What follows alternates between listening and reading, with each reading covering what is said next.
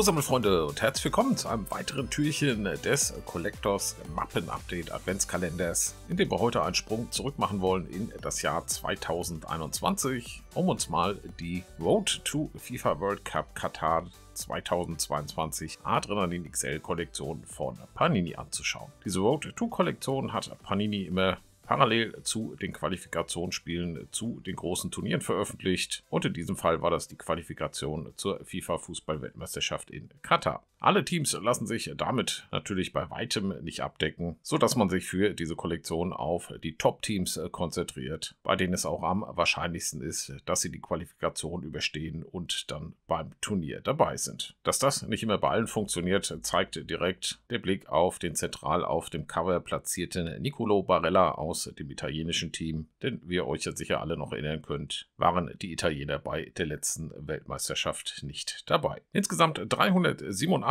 80 äh, Karten konnte man in dieser Kollektion sammeln. 210 davon waren Base Cards, 177 Special Karten. Und dazu gab es in Deutschland noch knapp über 60 limitierte Karten und auch nochmal knapp 40 XXL Limited Editions. Und international konnte man auf die Jagd nach noch mehr Limited Edition Cards gehen. In Summe waren wir da, wie wir es von Panini inzwischen kennen, glaube ich auch wieder im dreistelligen Bereich. Das dann eigentlich nur noch was für die, denen das Sammeln der normalen Kollektion nicht ausreicht. Womit man, wie ich finde, eigentlich schon gut ausgelastet war, denn diese Kollektion gar nicht so einfach zu komplettieren. Und das werdet ihr auch gleich sehen, denn trotz zahlreicher geöffneter Produkte, was ihr auch hier im Kanal verfolgen konntet, sind in der Sammelmappe noch einige Lücken. Das schauen wir uns jetzt zusammen an. Wir starten rein in unsere Sammelmappe, in der wir auf der linken Seite den ersten Teil der Checklist sehen. Der zweite befindet sich am Ende der Mappe. Und hier oben ist schon ganz gut erkenntlich, dass wir auch in dieser Kollektion auf die typischen Adrenalin XL-Kategorien treffen. Die Core-Kategorie mit den Base Cards und dann die vier Special Card-Kategorien Fence, Power Gold und die ganz seltenen Rare Cards mit den Topmastern und der Invincible, die wir hier auf der rechten Seite sehen. Und obwohl diese Karten richtig klasse geworden sind, mir persönlich gefällt das richtig gut mit dem Spieler im Vordergrund als Action-Motiv und dann im Hintergrund nochmal etwas vergrößert als Profil Profil hat ihnen so ein bisschen das Extravagante gefehlt, das die Rare Cards normalerweise immer auszeichnet. Und so musste man tatsächlich beim Ziehen der Cards aus dem Päckchen manchmal zweimal hingucken, um zu realisieren, dass man eine der seltenen Rare Cards getroffen hat. Vielleicht ist man aber auch schon zu sehr das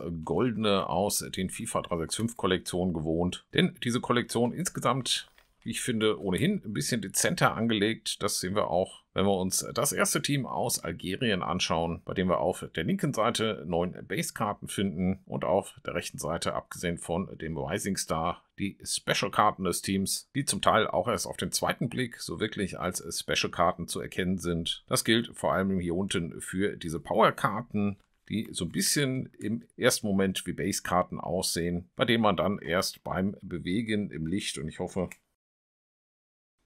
das kann man so ein bisschen erkennen, beziehungsweise ich hole mal eine raus, um diese feinen Holo-Linien, die da eingearbeitet sind, besser zu zeigen. Also auch da, wie gesagt, wirkt das Ganze im ersten Moment sehr dezent und ist auf den zweiten Blick erst so richtig als Special Card zu erkennen. Bisschen anders sieht es im oberen Bereich mit den Fans Favorite Karten aus, die auch sehr schick geworden mit der Nationalflagge im Hintergrund. Und dann haben wir hier in der Mitte noch den bereits angesprochenen Rising Star ein Game Changer mit so einem goldenen Balken am unteren Kartenrand und ein Power Trio mit jeweils drei Spielern auf einer Karte.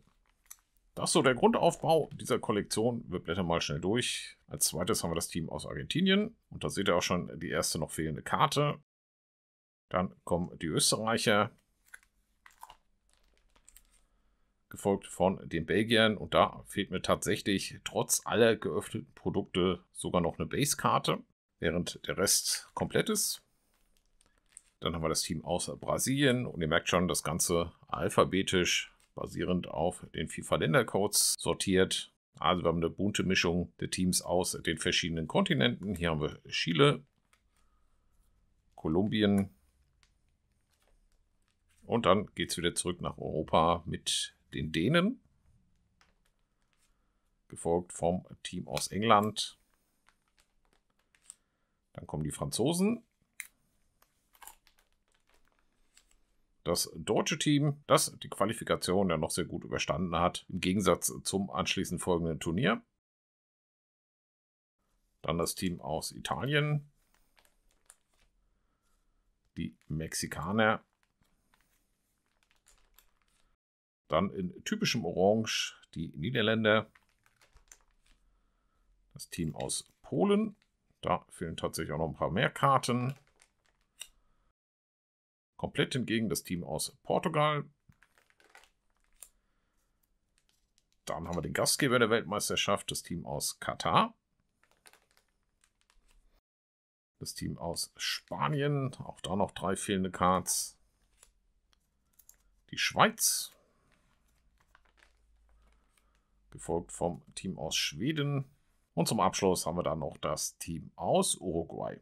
Ein spezieller Special Card Block folgt da nicht mehr, denn alle Special Karten ja hier auf den Teamseiten mit eingearbeitet, sodass wir danach zu den Limited Edition Cards kommen und die habe ich, da sie für diese Kollektion im Querformat angelegt sind, auch dementsprechend einsortiert.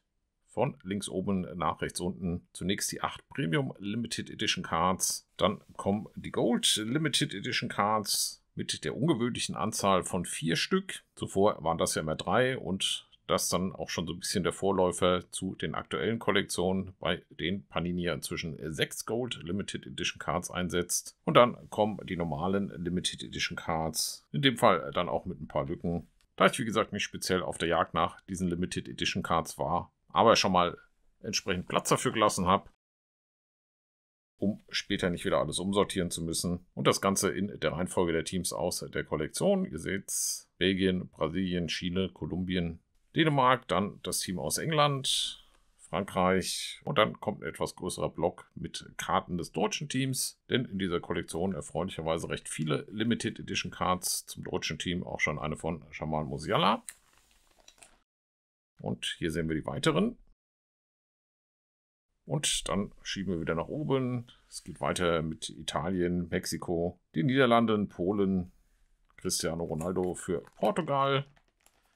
Und dann die letzte Seite mit den Limited Editions aus Katar, Spanien, Schweden und Uruguay. Da könnten eventuell also noch ein paar dazukommen. Platz dafür ist in dieser Sammelmappe ausreichend vorhanden. Ihr seht, ein paar Seiten sind auch noch übrig. Da haben wir den zweiten Teil der Checkliste. Und damit sind wir dann auch durch mit dieser Kollektion zur Qualifikation zur Fußball-Weltmeisterschaft 2022 in Katar.